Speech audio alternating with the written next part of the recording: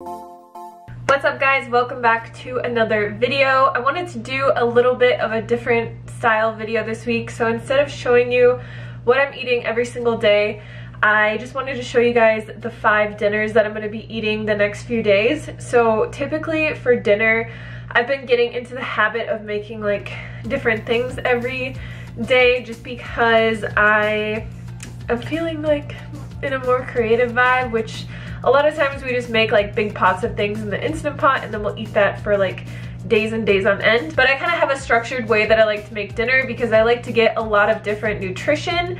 I've been eating just like so many fruits and smoothies and juices and stuff during the day. And then at dinner, I feel like it's the time for me to like really eat a big nourishing meal and cool down for the night and just chill and eat something really satisfying. So I try to make a lot of different styles of veggies. So I'll either make like grilled vegetables, I'll make a huge salad, I'll make um, like zoodles or something like that just because I like to eat a lot of food and I really love vegetables and vegetables are just so great for your health and then I usually have some kind of starch along with that which is usually potatoes or rice. So I'll just be showing you guys kind of how I put together my dinners and how I prep them and how it's really just easy to come up with so many different ideas for dinners just off the top of your head. Like if you have a few things in your house and maybe you have to go grocery shopping the next day, how can you throw together a really nourishing, satisfying dinner? Before I get into the video though, I wanna give a big thank you to Audible for sponsoring this video. Audible is the leading provider of spoken spoken word entertainment and audiobooks. Every month, members get one credit to pick any title plus two Audible originals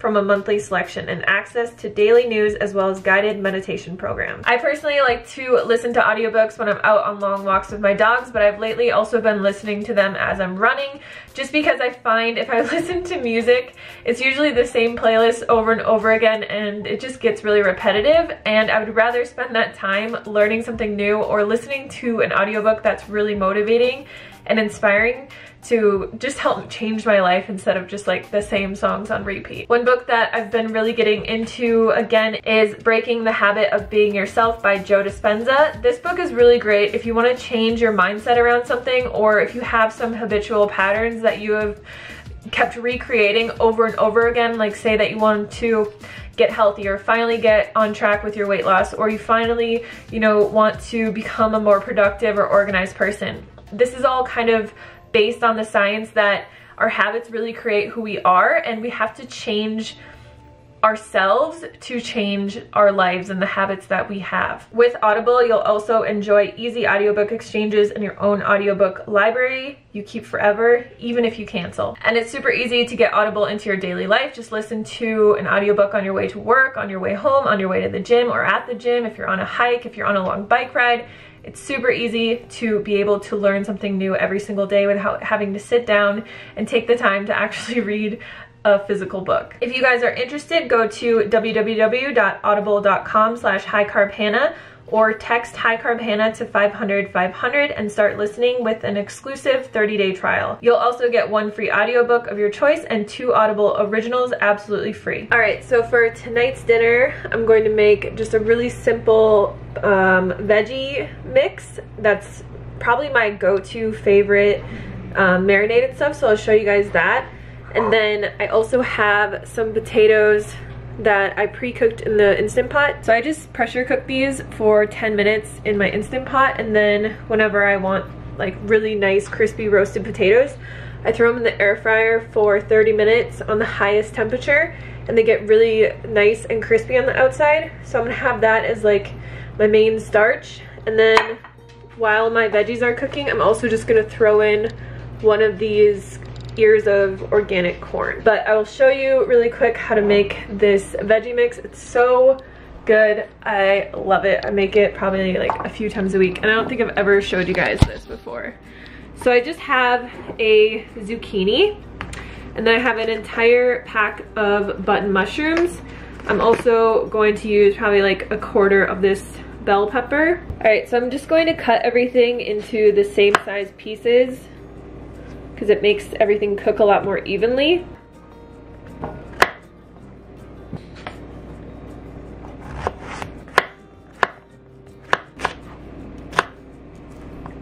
So I have all my veggies chopped up in this bowl. I'm going to add some seasoning to this. So you're just going to want to start with some tamari and this is just going to be like a marinade. I probably use like one whole tablespoon of tamari and then we're gonna use one to two tablespoons balsamic vinegar. We're just going to toss that really quick.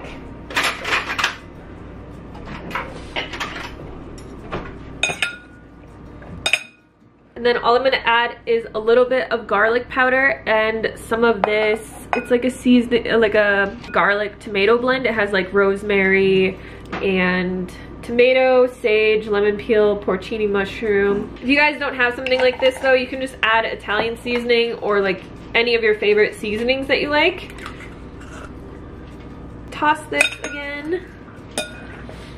So this is a really healthy side dish. I'm just gonna let this sit in the fridge for probably an hour. And then once I'm ready to eat, I just throw this in the air fryer for 15 minutes until it's nice and cooked. All right, so here are my roasted veggies and corn. And I'm just gonna take this out and put it in a bowl and then throw these bad boys in the air fryer. All right, so I got my veggies, my corn, and then all of my potatoes. And this is gonna be my dinner tonight. Super simple. Definitely try the marinade for this. It's just so good. Hey guys, so welcome back to another dinner. I just took a shower and I'm super hungry.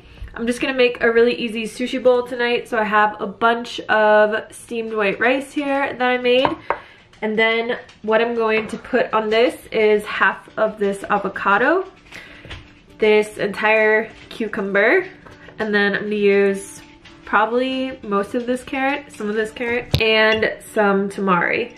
So what I like to do, because I like to add a lot of veggies to this, take my cucumber out and then I just use my peeler and I will just peel like this entire cucumber on top. And I like to do it this way because you get these little like noodles.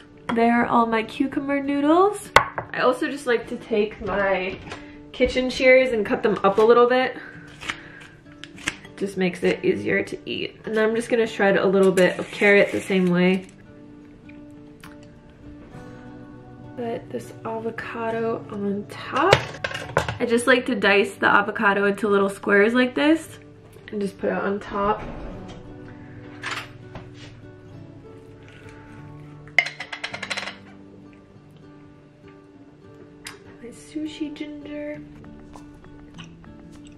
So yeah, this took me barely three minutes to make and it is just packed with veggies. I have my cucumber noodles, my carrot, my wasabi, my avocado, my rice under here. This is one of my favorite dinners to make because it takes no time and it's just a lot easier than making um, sushi rolls. Hey guys, so for dinner tonight I have these potatoes that I just chopped into fries and I just added a little bit of garlic salt. These are raw potatoes, so I'm just gonna throw these in the air fryer for 30 minutes and get them nice and crispy. And then with this, I'm just going to put them in these little lettuce leaves. I have some pico de gallo left over. And then I also have some homemade hummus that I'm going to mash the rest of this avocado in. This is like my favorite combo ever. If you have never tried hummus mashed together with avocado, it's how I always make my avocado toast. It's so good. So I'm gonna have that as like a little dip and I will just put it in the lettuce cups with the pico and the potatoes and then I'll just have little kind of like lettuce potato tacos. All right, so here is my dinner. I just cooked these in the air fryer with no oil for 30 minutes on 365 degrees.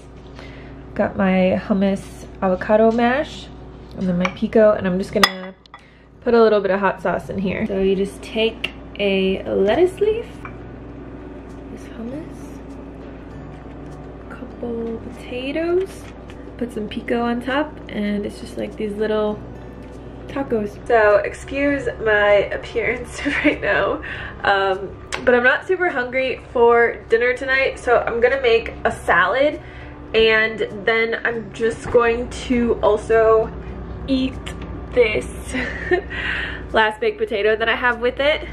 And that's just probably all I'm gonna have. For my dressing here, I just have some tahini in this bowl. And then all I'm gonna do is add a little bit of lemon juice, some garlic powder, and coconut aminos, and then just a little bit of water to thin it out.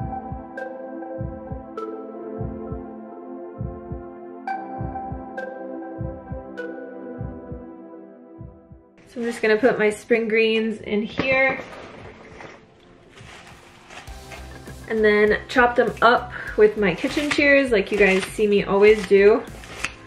This just makes it a lot easier to eat and it also helps the dressing just kind of get around the greens a little bit more. And then I always like to put the dressing in the greens first and mix it up so that just like every little inch of greens gets covered in the dressing. So if you guys don't have one of these little kitchen graters, it's a great tool because you can just take any kind of vegetable and just add like grated toppings to your salads. So I got some shredded carrot on there. I'm just gonna add some onion. And then I also have a beet that I'm gonna shred and put on here as well. And I'm just going to peel this cucumber and add like some small little cucumber noodles.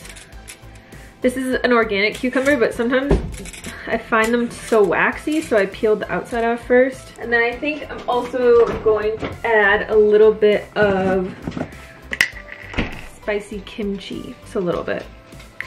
Because this stuff is really salty. So yeah, tonight I'm just going to have this salad and this sweet potato. Hey guys, so tonight for dinner I'm gonna make mashed potatoes and gravy because we really don't have much food in the house right now. And I usually make my own gravy, but I don't even have the ingredients to make that. So I'm gonna just use this vegetarian brown gravy. How I make my mashed potatoes is super easy. I just peel them and put them on a steamer tray in my Instant Pot for 10 minutes. And then I take them out, mash them with soy milk, put the gravy into the Instant Pot with a little bit of the cooking water, and I'm probably gonna defrost some frozen peas as well and eat it with sauerkraut.